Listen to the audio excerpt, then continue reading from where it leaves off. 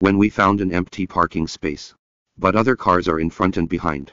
In this case, we can use this method to parallel parking. First drive the car forward in parallel. When the rearview mirror is aligned with the front car, turn the steering wheel all the way to the right, and then start to reverse. When we see the right side lights of the car behind from the left rearview mirror, turn the steering wheel back, then continue to reverse.